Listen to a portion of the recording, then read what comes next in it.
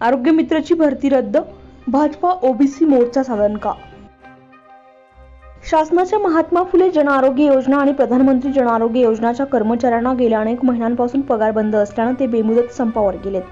त्यातच M D India कंपनीने पदभरती सुरू केल्यामुळे आरोग्य मित्रांच्या पाठीशी भाजपा ओबीसी मोर्चाच्या जिल्हाध्यक्ष विकी परदेसी यांनी त्यांचा डाव हाणून पाडलाय. पहिल्याच ज्या कर्मचारी आहेत त्यांना पगार द्या त्यांच्या ज्या मागण्या असतील त्या पूर्ण करा नाहीतर याचा परिणाम आपणास भोगावा लागेल असा इशारा देखील दिलाय ये बरोबर यांच्यावरचा मोरे साहेबाला काय होत आहे नाही मोरे साहेब आमचे आणि त्याच्यावर तुम्ही घे. म्हणजे मोरे साहेबांच्या वरची हे. आपण सर्वात मोठे मोठे आहे सांगा. ए, मोबाईल भाऊ उमेश मोहम्मद पाठव ना महाराष्ट्राच्या पुढे येऊन चल.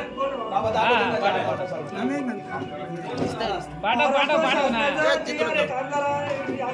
स्पष्ट म्हटले आरोग्य दूतला सव्वीस हजार सहाशे रुपये पगार दिला गेला पाहिजे.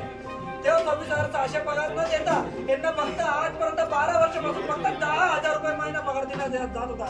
त्या अनुषंगाने आपण हिशोब केला बारा वर्षाचा चाळीस आपल्या धुळ्याचे राहतील आरोग्य आहेत. त्यांचा जर चाळीस कर्मचाऱ्यांचा याला काय आपण करणार? फरक काढला तर आजचा तारखेपर्यंत जो दोन आरोग्य दूत बोलवले त्यांनी जागेवर काम करायला बसवले. आणि नवीन भरतीसाठी त्यांनी इंटरव्ह्यू काढलेला आहे. त्यांचा काही न ऐकून घेण्यासाठी. ते लोक दहा ते बारा वर्षापासून काम करत आहे प्रामाणिकपणे. त्यांनी कोरोनाच्या महामारीमध्ये प्रामाणिकपणे काम केलं. त्यांनी महात्मा फुले योजना राबवली. प्रामाणिकपणे त्यांनी आयुष्यमान भारत कार्ड प्रत्येक घरोघरी जाऊन बनवलेलं आहे. त्यांची दखल न घेता यांना त्यांच्या पगाराचा पैसा मिळावा. यांना त्यांचे पैसे खाता यावा. म्हणून यांनी बाहेरगावून लोक बोलवले हे त्यांचे पैसे खाऊन जा- बाबा काय घडलं आज? काय माहिती? बोला. मी विक्की महादेव परदेशी भारतीय जनता पार्टी ओबीसी मोर्चा युवक अध्यक्ष. आज जे आपले आरोग्य दूत म्हणून प्रत्येक दवाखान्यात जे काम करत असतात जी शासनाची जी योजना आहे महात्मा ज्योतिबा फुले जन कल्याण योजना त्याच्या अंतर्गत त्याचे सगळे जे फायदे आहेत ते आरोग्य दूत प्रत्येक जे पेशंट असतात त्यांना मिळवून देत असतात. पण ते जे आपले आरोग्य दूत आहेत ते दहा ते बारा वर्षापासून त्या पदावर कार्यरत आहेत. आणि ते देखील सगळे ग्रॅज्युएट लोक आहेत पण ते टायपिंगचं काम करत आहेत.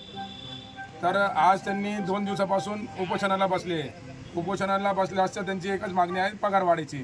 ते दहा ते बारा वर्षापासून काम करत असताना त्यांना नाम मात्र फक्त अकरा हजार रुपये पगार आहे. त्याच्यात कुठल्याही प्रकारची चांगल्या वाढीव त्यांना करण्यात आलेली नाही. त्यांनी कोरोना महामारीतही भरपूर काम केलं. त्याच्यानंतर जे शासनाच्या जे स्कीम असतात जसे काय आपल्या आयुष्यमान भारत योजना ते देखील त्यांनी प्रभावीपणे सर्व शहरात पूर्ण जिल्ह्यात त्यांनी प्रभावीपणे राबवलेली आहे. ते आपण सगळ्यांनी उघड्या डोळ्यांनी बघितलेली आहे.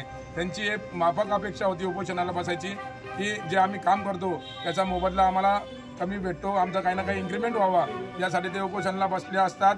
जे मुजोर अधिकारी आहेत हे एम डी इंडिया म्हणून जी कंपनी आहे त्यांनी तो ठेका घेतलेला आहे.